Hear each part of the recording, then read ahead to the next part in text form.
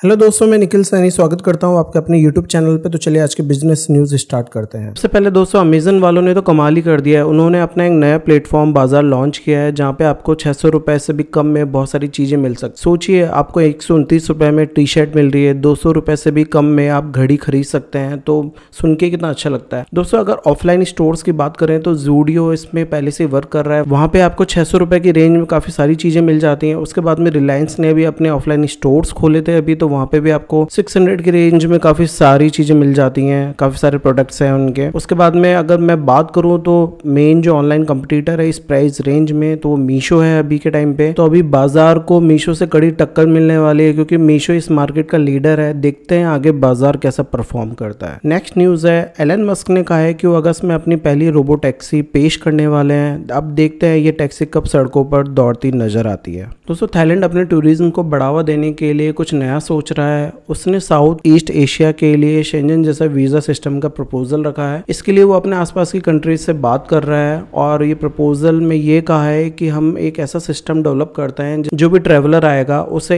एक ही वीज़ा लेना पड़ेगा और उससे वो काफ़ी सारी कंट्रीज़ को घूम पाएगा। इससे हमें भी सहूलियत होगी, हमारा टूरिज़्म बढ़ेगा और जो ट्रेवलर आ रहा है, उसे भी काफ़ी सहूलियत होगी। दोस्तों, अब थोड़ा गुजरात की तरफ़ चलते हैं। अडानी ग्रीन वहाँ के खावड़ा में दुनिया का सबसे बड़ा पावर प्लांट बनाने जा रहा है, जो ग्रीन एनर्जी प्रोड्यूस करेगा। बताया जा रहा है जो इस पावर प्लांट का साइज़ होगा, वो पेरिस के साइज़ का पाँच गुना होगा। मतलब इतना बड़ा पावर प्लांट बन रहा है यहाँ पे इंडिया में। दोस्तों ओपन ये है कि सीईओ सैम एल्टमैन और एप्पल के former chief design engineer Jony Ive एक नया स्टार्टअप लाने जा रहे हैं और इसके लिए वो एक अरब जुटाने की कोशिश कर रहे हैं। इस वेंचर को आईफोन ऑफ़ द ए कहा जा रहा है। इन दोनों का कहना है कि एक ऐसा डिवाइस बनाना चाहता है जो ए की फ़ील्ड में एक ब्रेक थ्रू साबित होगा। दोस्तों, अच्छी खबर ये है कि इस साल के एंड तक टेस्ला जर्मनी से भारत को इलेक्ट्रिक कारें भेजना स्टार्ट कर देगा। इससे दोस्तों टेस्ला को इंडिया में अपने मार्केट जमाने में काफ़ी मदद मिलने वाली है। नेक्स्ट दोस्तों वोल्टास ने फाइनेंशियल ईयर 24 में 1.2 मिलियन एयर कंडीशन बेचे, जो कि किसी भी ब्रांड के द्वारा बेचे गए सबसे ज़्यादा एसी है इंडिया में। इतनी अच्छी खबरों के बीच में बुरी खबर भी है। सेबी ने फिन इन्फ्लुएंसर रविंद्र भारती पर बारह करोड़ रुपए का जुर्माना लगाया। भारती ने निवेशकों को थाउज़ेंड परसेंट का रिटर्न देने का झांसा दिया था और इसीलिए सेबी ने उन पर इतना बड़ा जुर्माना लगाया। और ये हमें दिखाता है कि हमें ज़्यादा लालच नहीं करना चाहिए। नेक्स्ट दोस्तों वोडाफोन आइडिया के लिए एक राहत भरी खबर है। उन्हें आदित्य बिरला ग्रुप से दो